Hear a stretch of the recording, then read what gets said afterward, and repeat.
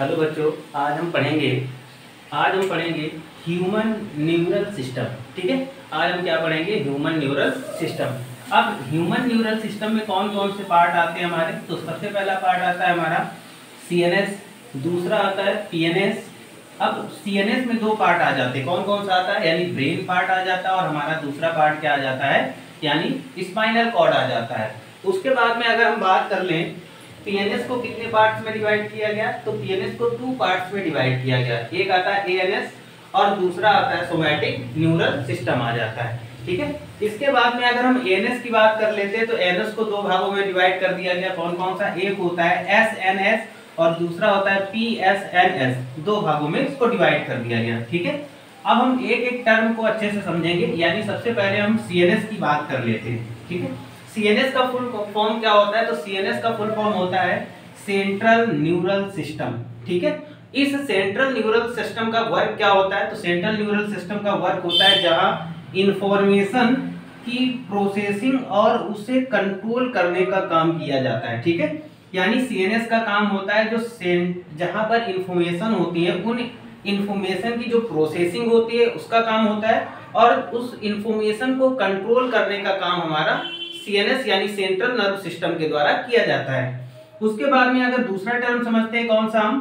PNS तो PNS में क्या होता है? पेरीफेरल न्यूरल सिस्टम होता है, जहाँ पर क्या होता है? शरीर की सभी न्यूरॉन्स जो क्या होता है? जितनी भी हमारे बॉडी में न्यूरॉन्स होती हैं, वो क्या होता है? सीएनएस यानी ब्रेन एंड स्पाइनल कॉर्ड से एसोसिएट रहती हैं। एसोसिएट का मतलब क्या होता है? कि उससे जुड़ी हुई रहती हैं। अगला टर्म हम समझते हैं, ठीक है? इतना नोट कर लीजिए। अब हम बात करेंगे पीएनएस की, ठीक है? तो पीएनएस हमारा क्या होता है? दो प्रकार का ये क्या होता है? फाइबर्स होता है, ठीक है? पीएनएस हमारा टू टाइप्स का फाइबर होता है। एक होता है हमारा एफरेंट फाइबर और दूसरा होता है हमारा इफरेंट फाइबर ठीक है? अब पीएनएस में एफरेंट फाइबर्स का वर्क क्या करता है? तो जो भी हमें इम्पुल्स मिलते हैं, ठीक है? उन इम्पुल्स को टिश्यू या ऑर्गन्स तक ऑर्गन से सीएनएस तक ट्रांसमिट करने का काम करते हैं, ठीक है?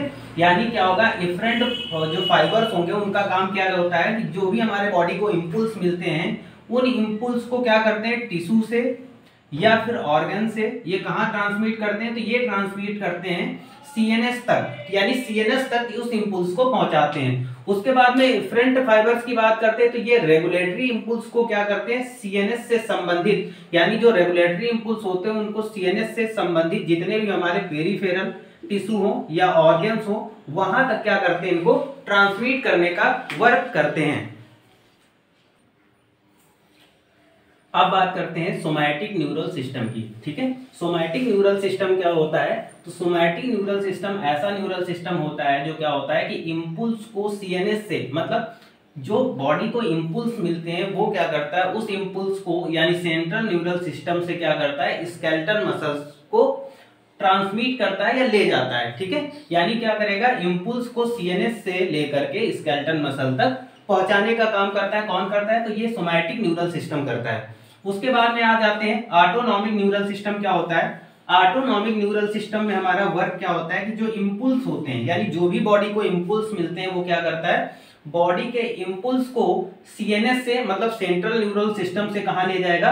बॉडी के इनवॉलेंट्री ऑर्गन्स इनवॉलेंट्री ऑर्गन्स, जैसे हमारा हार्ट होता है, जहाँ पर इनवॉलेंट्री मसल्स पाई जाती हैं, या इनवॉलेंट्री मसल्स होती हैं, वहीं पर हमारा क्या होता है, इनवॉलेंट्री ऑर्गन्स होता है। जैसे ह्यूमन हार्ट क्या करता है, इसकी मसल्स ऐसी होती हैं जो बिना रुके काम करती हैं, ठीक है? यानी इनवॉलेंट्री मसल्स होती हैं। तो उन इनवॉल्वेंट्री इनवॉलेंट्री ऑर्गन्स की बात करें तो इनवॉलेंट्री ऑर्गन्स तक जो इम्पुल्स पहुंचाता है, वो कौन पहुंचाता है? हमारा सीएनएस से जाते हैं। यानी सीएनएस से हमारे जो भी इम्पुल्स होंगे, वो इनवॉलेंट्री ऑर्गन्स और स्मूथ मसल्स तक ले जाते हैं। और ये सारा काम कौन करता है? तो ये ऑटोनॉमिक न्यूरल सिस्टम हमारा वर्क करता है। अब हम बात करते हैं ऑटोनॉमिक न्यूरल सिस्टम की, ठीक है? तो ऑटोनॉमिक न्यूरल सिस्टम को दो पार्ट्स में डिवाइड कर दिया। पहला होता है, पहला हमारा सिस्टम है sympathetic neural system sympathetic neural system का मतलब जहाँ पर सैम्पथी से रिलेटेड चीज़ें आ जाए, वहाँ पर ये कंट्रोल हमारा सैम्पैथेटिक न्यूरल सिस्टम का होता है। जैसे रिस्पॉन्डिंग किसके लिए रिस्पॉन्स कर रहता है? तो जैसे डेंजरस कंडीशन आ जाए या फिर स्ट्रेसफुल कंडीशन आ जाती है सिचुएशन आ जाती है तो वहाँ पर हम तो जहाँ पर रिस्पॉन्डिंग किसके लिए करता है? यानी डेंजरस कंडीशन हो या स्ट्रेसफुल कंडीशन या सिचुएशन हो तो वहाँ पर हमारा क्या होता है? सिंपैथेटिक न्यूरल सिस्टम क्या करता है? वर्क करता है, ठीक है? आगे आ जाते हैं पैरा सिंपैथेटिक न्यूरल सिस्टम क्या होता है? ये कैसे वर्क करता है? तो नेटवर्क ऑफ़ ये क्या होता है कि एक नेटवर्क होता है न्यूरॉन सिस्टम का तो जहाँ पर नर्वस की बात आ जाए that the relax your body after the period and stress या डेंजर यानी इन कंडीशंस में हमारा जो न्यूरॉन सिस्टम काम करता है तो वो पैरा सिंपैथेटिक न्यूरल सिस्टम करता है। और सिंपैथेटिक न्यूरल सिस्टम की बात करें तो ये हमारा क्या होता है, जब डेंजरस कंडीशन में स्ट्रेसफुल सिचुएशन होती, वहाँ पर वर्क करता है।